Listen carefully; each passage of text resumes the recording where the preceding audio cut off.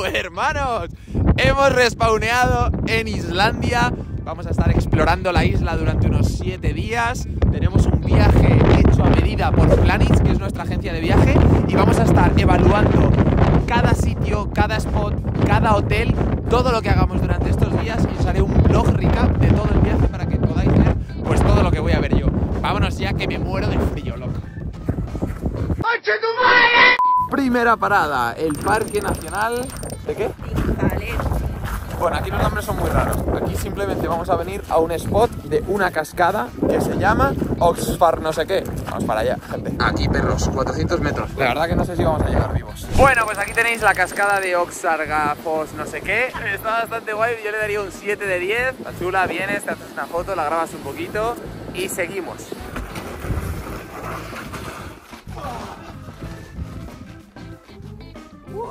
Siguiente parada de nuestro plan de planes.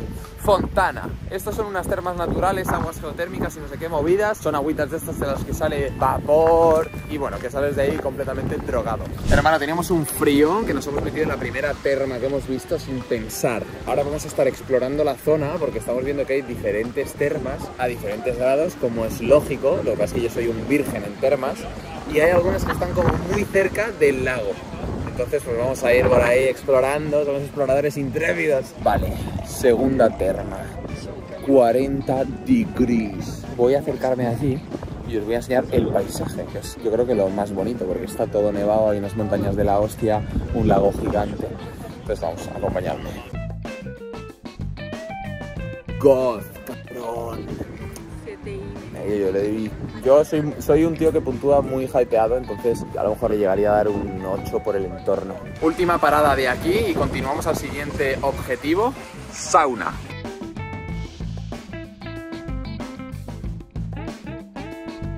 Pues muy bien. Eh, hermanos, yo debo vivir debajo de una cueva, pero nunca había visto este cacharro y me está dejando flipado. Es como una secadora automática, ¿vale? Tú metes aquí el bañador, cierras la tapa, aprietas y para solo cuando está seco.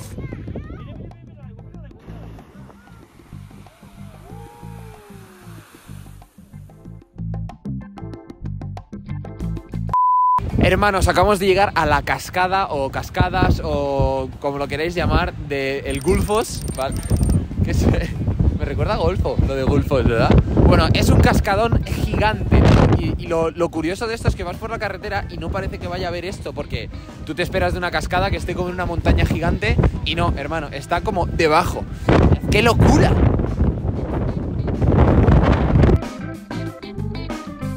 Nos vamos, ya, me muero, me muero aquí. ¡Uah! ¡Dios! Se me cae el moco. Bueno chicos, hemos llegado al hotel, vamos a entrar. Aparentemente el sitio por fuera es una locura, es precioso. Además es que no hay ningún tipo de contaminación de nada, es montaña, prado. Es la- interestelar. es interestelar total. Y vale, vale, vamos a ver la habitación juntos rápidamente. Una entradita amplia, bueno, una cama grande, un buen baño, grandecito, tal, perfecto. Buena mi hoodie, ¿eh? ¿Os mola? Nueva hoodie, nuevo drop. Ojo a los detallitos de la capucha, brutales. Ositos bordados, ¿os veis? Brutal. Brutal. Bueno, yo le doy. Para mí tiene un. Es que la vista, hermano. Yo iba a decir 8 o 9, ¿eh? Cuidado, estás de acuerdo, ¿no? Así que nada, vamos a cenar, a dormir y mañana más.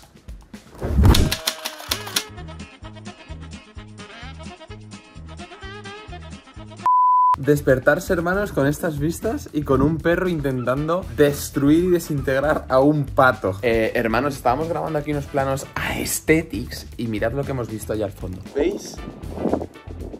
¿Veis esa cascada de allí? ¿Eso? Es la cascada a la que vamos a ir ahora mismo. Así que vamos, maletas al coche y primer destino del día 2.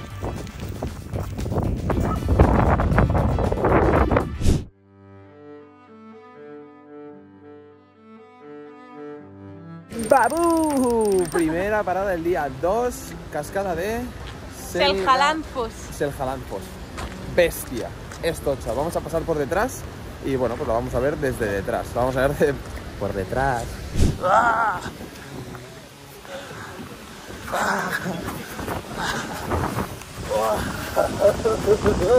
¡Uh!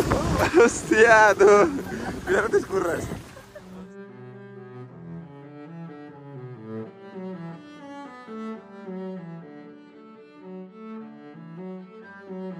Bueno, hermanos, como podéis ver, el camino es todo eh, de placas de hielo, bastante peligroso, pero bueno, si se va despacito y con buena letra, como decía mi madre, se puede llegar. Estamos ya literalmente a punto de pasar la zona congelada para meternos en la trastienda de la cascada. Conseguido, hermanos, estamos detrás de la cascada. Mirad qué pedazo de vista, tío.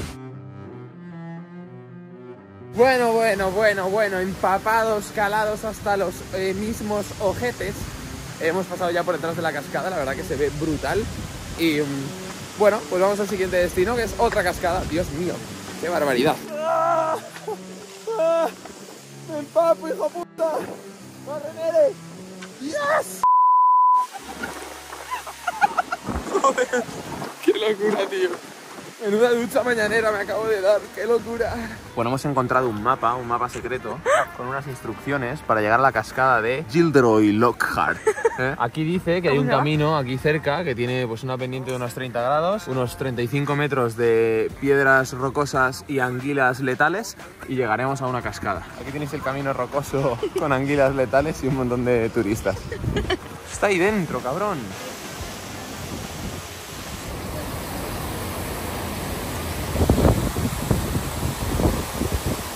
Guay, ¿eh? Está pepino. Está guapísimo. Nos vamos a jugar un poco la vida en ir porque mirad por dónde estamos andando. ¡Hostia! ¡Hostia! Me quiero morir, me quiero morir. Bueno, hermanos, conseguido. Estamos dentro. Mirad qué pedazo de locura. Y ya está. Disfrutadlo un segundo. Bueno, la misión ahora es volver sanos y salvos. La ida se ha dado bien, la vuelta, pues no se sabe. Lo veremos. Bueno, hermanos, el día 2 está siendo día de cascadas. Íbamos de camino a un parque nacional que no sé cómo se llamaba. Escataco no sé qué. A ver una cascada que era la cascada Barty Crouch. Y hemos encontrado a Escogafos de camino, que es una cascada de la que yo me acordaba, que era espectacular.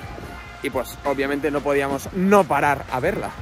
Así que disfrutadla.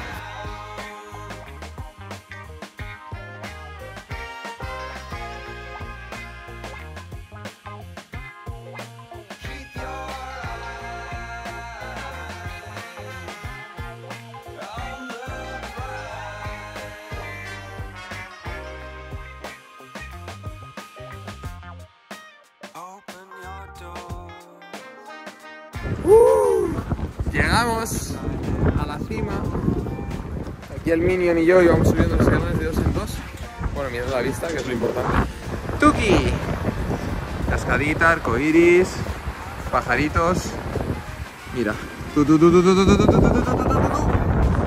Toma. Espectacular, ¿qué más le hice? Un momentito chicos, consultamos a Google. Atlántico Norte, Atlántico Norte gente. Muy top.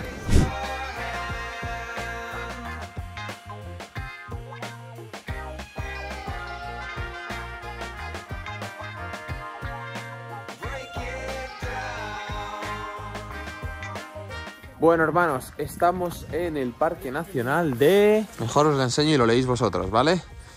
Venimos a hacer un, como una ruta de unos 45 minutos para llegar a unas cascadas dentro de como en unos glaciares. Nos vemos arriba, hermanos. Aquí tenemos que ir. Todo Ah, aquí tenemos que ir. Y todo esto es un glaciar gigante. Nice, nos vemos ahora. Cada vez más cerquita. Miren, miren, miren, miren. Miren.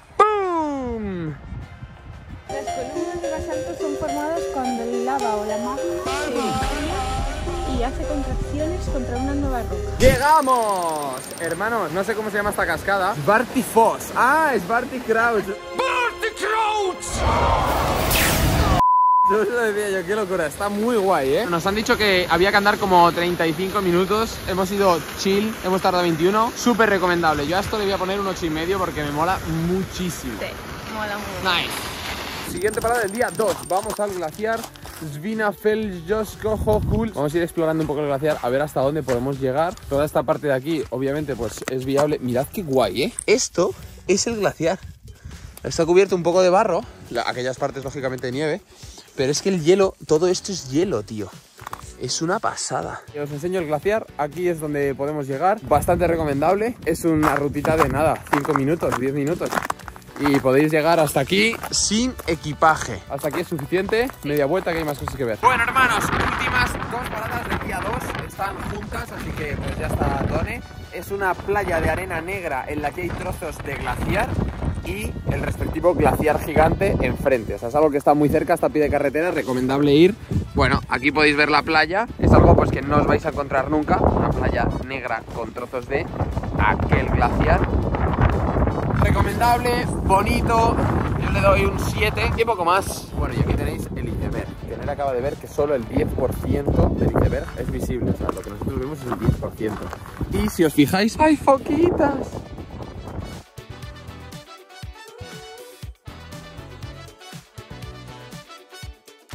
Tuki, estamos en el hotel. Que no sé cómo se llama. ¿Cómo se llama el hotel? No, me sale el Ah, ah, Hall, eh, Hall Country. Halley, Halley, ha dicho la Halley Country Hotel. A ver, está guay. Es una habitación decente, una buena ducha, una buena cama, una buena vista. Buena vista, eh. Me gusta la vista, mira. Probabilidad de auroras boreales. Y buena probabilidad de auroras boreales. Bueno, por ahora este hotel mínimo se tiene que llevar un 7. O sea, mirad las vistas, la cama es grandota, el baño está bien. Let's go. Hasta mañana, máquinas.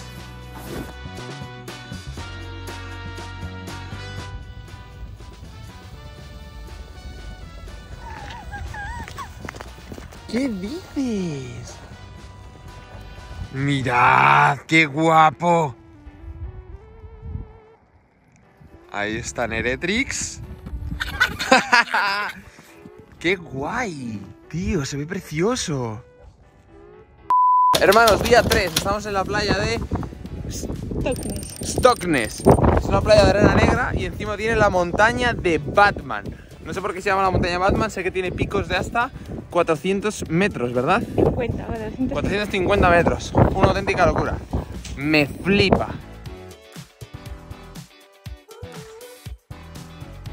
Es una locura de playa. Mirad, hermanos, mirad qué pasada el reflejo que hace la agüita en el suelo. Se ve toda la montaña de Batman en el suelo. Es una locura, pero aquí hace un frío que te cagas. Por cierto, nuevo drop de Drip, Drop 003, ya disponible. Bordados brutales, grandes detalles, unidades limitadas. Vamos. Bueno, hermanos, nos acaban de dar nuestras botas, nuestros crampones y vamos a poner rumbo ya a la cueva de hielo. Nos vemos ahora. Estamos de camino al glaciar y Sergio nos está contando la historia de cómo se ha ido deshaciendo el glaciar y cómo ha ido dejando viables las cuevas. Una locura. Oh, los reindeers. Reindeers. Bueno, hermanos, pues ahí tenéis unos renitos. Épico. Hermanas, nos estamos adentrando en lo más profundo de la cueva. Vamos a pasar una zona muy, muy, muy bajita. Vamos a tener que ir casi a gatillas, pero vamos a llegar hasta el final de la cueva.